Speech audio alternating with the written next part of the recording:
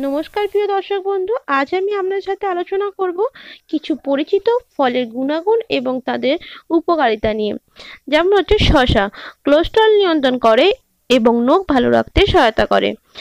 Apple apple কি সাহায্য করে? লিভার সুস্থ রাখে এবং সাথে সাথে ডায়রিয়া ও কোষ্ঠকাঠিন্যের মতন রোগকে দূর করে। পেয়ারা। বয়স বৃদ্ধির সাথে জড়িত নানা রোগ যেমন চোখের ছানি এবং অর্থরাইটিস প্রতিরোধে সহায়তা করে। কলা, এনার্জি বৃদ্ধিতে সহায়তা করে। পাতিলেবু আমাদের ওজন কমাতে সহায়তা করে। আঙুর চোখ ভালো রাখতে সহায়তা করে এবং চুল পড়া রোধ করে। জামরুল শরীরের তরলের ভারসাম্য বজায় রাখে এবং রক্তের চাপ নিয়ন্ত্রণ করে। কালো জাম, বহুমূত্র রোগ নিরাময়ে সক্ষম। পাকা আম, শুকানো বৃদ্ধিকারক বায়ুনাশক এবং শরীরে শক্তি বৃদ্ধি করে। গাজর, হাড়ের রোগ প্রতিরোধে সহায়তা করে। অর্থনাশক এবং ত্বকের লাবণ্য এবং উজ্জ্বলতা বাড়াতে সহায়তা করে। এই গাজর, কমলা লেবু, রোগ প্রতিকারে ক্ষমতা বৃদ্ধি করে এবং কিডনিতে স্টোন হবার মতন বড় রোগকেও প্রতিরোধ করতে সহায়তা করে। আনারস, হজম শক্তি বৃদ্ধি করতে বেশ কার্যকর।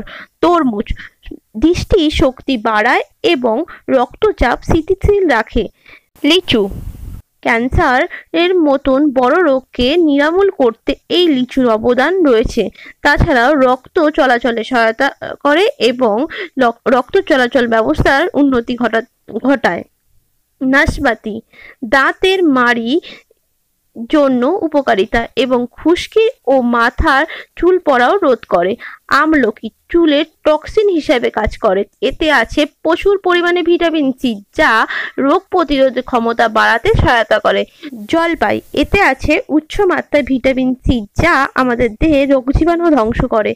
এছাড়া রক্তে চর্বি জমে যাওয়ার প্রবণতা কমিয়ে দেয় এবং হৃৎপিণ্ডে রক্ত প্রবাহকে ভালো রাখে।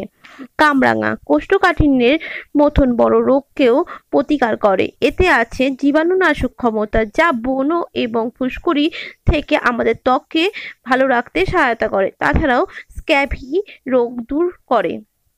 পানি ফল, অ্যালার্জি ও তলপেটের ব্যথা কমায় এবং বিছে বা বিষাক্ত পোকামাকড় কামড়ে দিলে আহত স্থানে পানি ফল পিষে লাগিয়ে দিলে দ্রুত ব্যথা সরে যায়।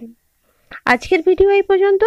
আমার ভিডিওটি ভালো লেগে থাকলে লাইক, কমেন্ট, শেয়ার করতে ভুলবেন না এবং এখনও আমার চ্যানেলটিকে সাবস্ক্রাইব করেননি তাড়াতাড়ি সাবস্ক্রাইব করুন এবং পাশে থাকা বেল আইকনটি প্রেস করে দিন। নমস্কার, ভালো থাকবেন, সুস্থ থাকবেন।